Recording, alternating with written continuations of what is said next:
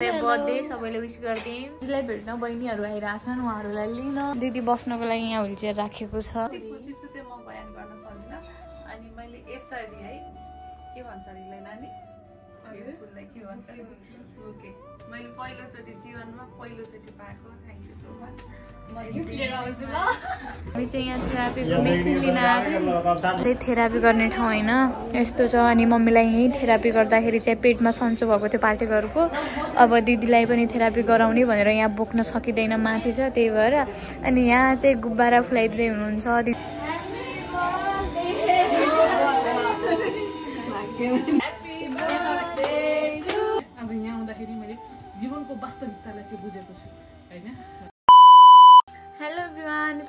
Bhumika Bora welcome back to our YouTube channel Hira Bora so guys के छ I hope कि सबैजना आरामै सन्चै हुनुहुन्छ। आज चाहिँ स्पेसल भ्लग छ। आज चाहिँ युट्युब च्यानल ओनरको बर्थडे छ। यता चाहिँ बहिनी गेम खेलिरहेको छ। यहाँ हजुरआमा पल्टिनु भएको छ। यहाँ चाहिँ दिदी पल्टिरहेको छ। उहाँको चाहिँ बर्थडे सबैले विस गरिदिएँ र म चाहिँ दिदीलाई भेट्न बहिनीहरू आइरहेछन् उहाँहरूलाई लिन गइरहेको छु। दिदी बस्नको लागि यहाँ चेयर राखेको छ। अब चाहिँ दिदी बाहिर बस्नुहुन्छ एकछिनमा। थ्याङ्क यू यहाँ चाहिँ अब के केक यू सो मच हाम्रो पेमा दिदी र दादालाई नानी आएर यसरी होइन? आज मैले के भन्छ नानी उतातिर चाहिँ गाईको छोरीले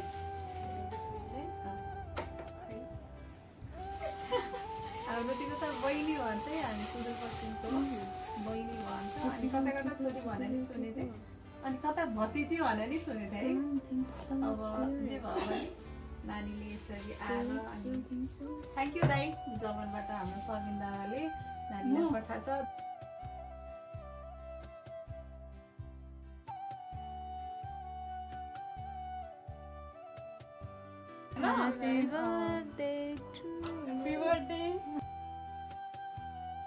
फोटो क्लिक भइरहेछ। भयो। थ्याङ्क यू सो मच हाम्रो दादा अनि बेमारीलाई यसरी नानी पठाउनु भयो। म कति खुसी छु त्यो म बयान गर्न सक्दिनँ। अनि मैले यसरी है के भन्छ अरे यसलाई नानी? फुललाई के भन्छ? ओके। मैले पहिलोचोटि जीवनमा पहिलोचोटि पाएको थ्याङ्क यू सो मच मैले मनदेखि गरेँ के पठाउनु भएको दादा दिदी? के ल्याएको नानी? तर के छ यो भित्र भनेको गेस गर्नु न गेस गर्नु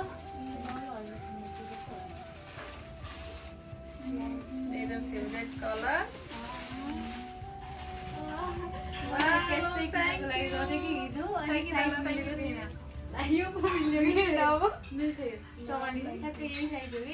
बयालिस भेट्टाएको चौवालिस नभेट्टाएको लाउनुहुन्छ लाउनु अनि थ्याङ्क यू दी। अनि मेरो फेभरेट कलर मैले लुगा लगाइसकेको छु। अनि कस्तो लागेको छ त भन्नुहोस् त। तपाईँले नै रोजेर पठाएको अनि साइज पनि कति के?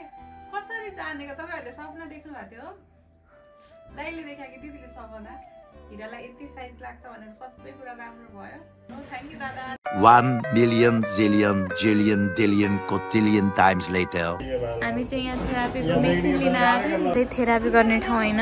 यस्तो छ अनि मम्मीलाई यहीँ थेरापी गर्दाखेरि चाहिँ पेटमा सन्चो भएको थियो पार्टिकलको अब दिदीलाई पनि थेरापी गराउने भनेर यहाँ बोक्न सकिँदैन माथि छ त्यही भएर। अनि यहाँ चाहिँ गुब्बारा फुलाइदिँदै हुनुहुन्छ। दिदीको बर्थडे नि यहीँबाट गुब्बारा लग्ने भनेर।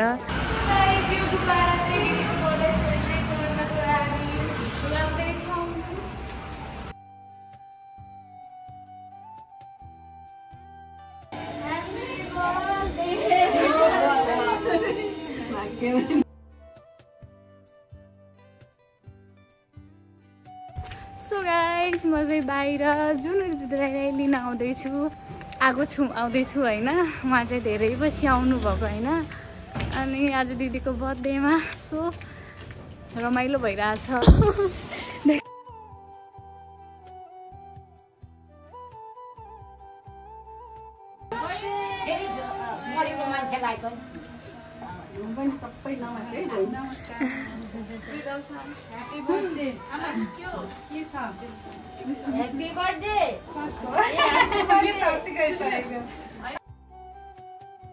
चाहिँ भाइ एक्लै बसेर गेम खेलिरहेछ। अब हामी चाहिँ सेकेन्डचोटि केक काट्ने। मान आमा हुनुहुन्छ मान आमाले यता लानुहुन्छ यता लानुहुन्छ फोन हुन्छ। हो कि होइन भन्नु त ती पीडा मलाई त त्यो यस्तो पीडा हुन्छ कि त्यो कति यस्तो कहिले यसरी खान नसक्ने भयो भने यस्तरी खाल्थेँ अथवा त्यो रोग मलाई सार्न है त्यो सार्न मिल्थ्यो जस्तो लाग्छ कि मलाई।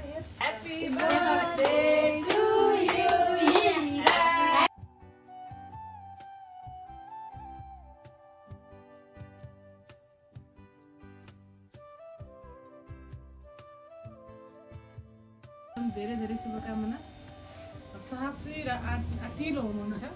उहाँको धेरै भिडियोहरू त मैले सामाजिक सञ्जालमा देखेको र आज प्रत्यक्ष रूपमा उहाँको जन्मदिनको अवसरमा भेट्न पाइयो। एकदम खुसी लाग्यो। एकदम कमजोर ठान्थेँ कि होइन जस मान्छे कति कमजोर हुन्छन् केही गर्न सक्दैन सोचहरू आइराख्दाखेरि उहाँबाट चाहिँ मैले एकदम नयाँ किसिमको पाठ सिकेँ र एउटा ज्ञान पनि सिकेँ। मान्छे जस्तो सुकै भए पनि आफ्नो चाहिँ पनि बलियो भयो भनेदेखि जे पनि हुन्छ क्या होइन? एउटा उदाहरणीय व्यक्ति हुनुहुन्छ हिरो हिरा बोहरा बोहरा है? सँगसँगै उहाँको चाहिँ उदाहरणीय परिवार पनि छ। आमा हुनुहुन्छ आमालाई चाहिँ सबै पनि जान्छ जसले चाहिँ आफ्नो बच्चालाई यति धेरै माया गर्नुभएको छ। एकदम कम आमा देखेँ मैले जसले चाहिँ आफ्नो बच्चाहरूलाई चाहिँ आफूभन्दा पनि अथाह माया गरेको छ अथाह प्रेम गरेको छ। र हामीले हाम्रै समाजमा देखिरहेको छौँ एउटा आमाले आफ्नो बच्चाहरूलाई चाहिँ कतिसम्मको अवहेलना पनि गरिरहेका हुन्छन् छोडेर जान्छन् होइन। आमा आफ्नो लागि बाँचिरहेको हुन्छ तर हिरा दिदीको आइसकेपछि उहाँको आमा मैले यस्तो भेटेँ कि जो चाहिँ आफ्नो जीवनलाई त्यागेर आफ्नो बच्चाहरूको लागि चाहिँ बाँच्नु भएको छ। जसको कारणले गर्दाखेरि आज सम्पूर्ण परिवारले चाहिँ राम्रो जिन्दगी पनि जिइरहेको छ होइन? र विशेष गरी चाहिँ हिरा दिदीको आँटलाई र साहसलाई चाहिँ एकदम सम्मान गर्न मन लाग्यो मलाई होइन? यो यस्तो समाजमा हुनुहुन्छ कि जुन समाजले चाहिँ अलिकति कमजोरी देख्यो भने त्यसलाई चाहिँ फरक दृष्टिकोणले हेर्छ क्या होइन? तर उहाँ आफू अशक्त भए पनि उहाँले चाहिँ आफू सँगसँगै आफ्नो परिवारलाई चाहिँ एउटा राम्रो जीवन दिएर सब सबै सामु चाहिँ चिनाउनु भएको छ एकदम खुसी लाग्यो। यो आर्ट र साहस सबैमा आओस् होइन?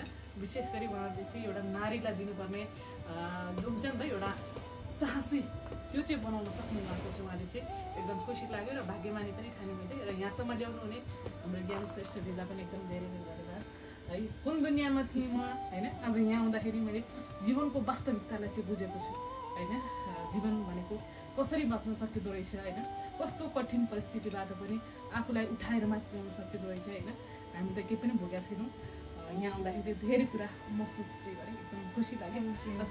एकदम धेरै धेरै। थ्याङ्क यू सो मच हजुरलाई। र थ्याङ्क यू ज्ञानदी आज मलाई सरप्राइज दिनुपर्छ अनि त्यही हो सधैँ हार मान्नु हुँदैन। अनि सधैँ खुसी रहनुपर्छ। सबैभन्दा ठुलो हामीसँग सम्पत्ति भनेको हाम्रो खुसी हो। Few moments later. रिमुभर भइहाल्यो नि के छ झन् ए, अनि त्यसपछि कहिले काहीँ त चुरा पनि लगाएको देख्थेँ मैले अनि यहाँ चाहिँ खाना बनिरहेछ यसरी यहाँ चाहिँ मेरो भाइ अरू भाइ के बनाउँदैछ चिल्ली बनाउँदैछ यहाँ चाहिँ रोटी बनिरहेछ बनाउने मान्छे यता छ अनि यो मान्छे चाहिँ अलिअलि हेल्प गरिरहेछ इ मैले यो चाहिँ अहिले यो डेक्ची धोएको भाइ चाहिँ बसिरहेको भाइ चाहिँ बसिरहेको छ। अहिले हाँसी पनि रहेको छ। मेकअप भइरहेछ गाइज सो खाना चाहिँ सबै बनिसकेको छैन तर दिदीहरूलाई ढिलो भएर यता खाना खाँदै हुनुहुन्छ। मम्मी चाहिँ यो अहिले खेतबाट धनियाँ लिएर आउनुभएको। खाना खाँदै हुनुहुन्छ। यहाँ चाहिँ टिकटक बनाउँदै हुनुहुन्छ। चाहिँ मेकअपको सदुपयोग गरिरहेको छु सो अब चाहिँ हामी लास्ट केक बाँकी छ केक काट्छौँ अनि त्यसपछि चाहिँ हामी खाना खान्छौँ। अनि धेरै लेट भइसक्यो एघार बजिसक्यो। अब चाहिँ केक काटौँ है त। उहाँ चाहिँ यस्तो हुनुभएको छ यहाँ। बसिरहनु भएको छ। हामी चाहिँ यस्तो बसिरहेछौँ। उसलाई चाहिँ उता निद्रा लागिरहेछ।